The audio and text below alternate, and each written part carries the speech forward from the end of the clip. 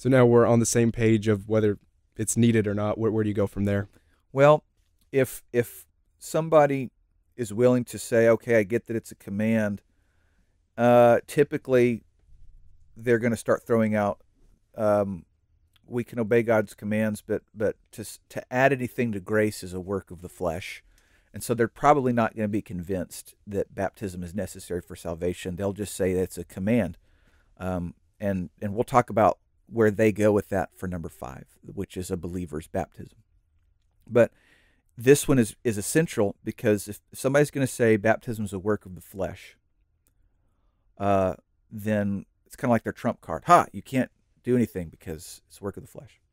So I typically bring up Ephesians 2, verse 8 very early in these conversations. It's going to come up at some point anyway. Right. And so I tell them, we're not saved by works. Ephesians 2, verse 8. And by taking ownership of that verse, it can't be weaponized against what we teach on baptism because it's simply true. We're, we agree. We're not saved by works. I don't want to just lob a scripture and they lob a scripture and we just like get in this fight. I want to, when somebody says we're not saved by works, I want to say, Amen. You are so right. We're not saved by works. But here's a couple of scriptures. I want, I want to actually read them. So, how about you read for me in Colossians 2, verse 11 and 12?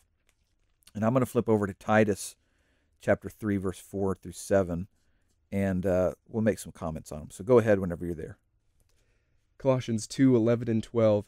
In him you were also circumcised with the circumcision made without hands, by putting off the body of the sins of the flesh by the circumcision of Christ, buried with him in baptism, in which you were also raised with him through faith in the working of God who raised him from the dead. Yeah, so this is uh this baptism um it's called the circumcision of Christ. And it's the thing that that cuts sin out of our life and puts us into Christ as Galatians chapter 3 verse 26 talks about.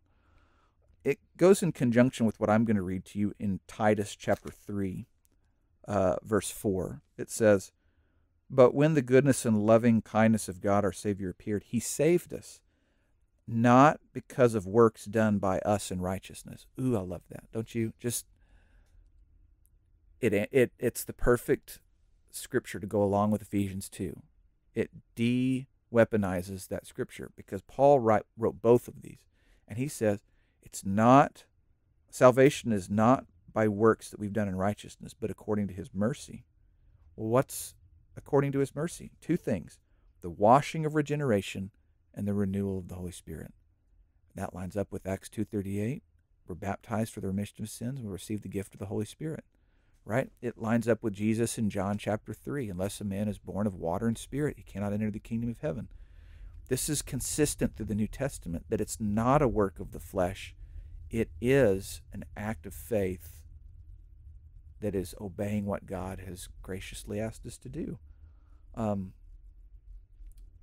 I, I, you know, a lot of times people may not agree with that, and, and they've just been kind of indoctrinated with Ephesians 2 8, works, works, works. But the Bible seems to be very consistent that it's an act of faith that we do to obey God.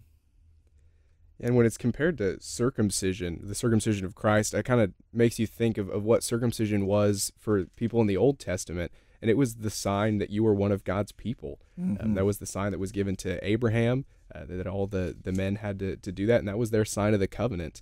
And Jesus brought in a new covenant, and this seems to be what his sign was that he chose. Yeah, um, that's a great point. No Jew uh, decided they didn't want to be circumcised because they felt like it would take away from their relationship with God. In fact, uh, you know, the irony is that they relied so much on their circumcision that they couldn't see God's grace, which is a warning to people in the Church of Christ who rely so much on baptism that they forget that there's something bigger than baptism. We're going to talk about that in the conclusion. But there, it's more than baptism. It's about appreciating that God has has called us to be different. But like you're saying, that thing that separates us from the world and puts us in Christ you know, in the old law it was circumcision, but now it's baptism. I'm, I'm thinking about in verse 12 of Colossians 2, it says, uh, having been buried with him in baptism, in which you were also raised with him through faith in the powerful working of God who raised him from the dead. So God's the one at work. This is God's work. And again, all we're trying to do is help people see whenever they're kind of locked in on uh, it's a work, it's a work, it's a work. We say it's God's work, and we are accomplishing God's work through faith. So it's God's work and the work of the person who's having to lower you down Right. and lift you back up. yeah, of of the three parties of God who assigned it, the one who is baptizing you and you getting dipped, you're doing the least.